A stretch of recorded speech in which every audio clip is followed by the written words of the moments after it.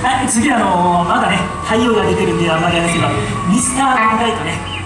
あビートルズが来日した時にねあのー、多分あの日本武道館の公演やってる時のの青年の時のね、あのー、パトカーが先導しながら行ったその時の曲なんですけどミスター・モンライトいきます。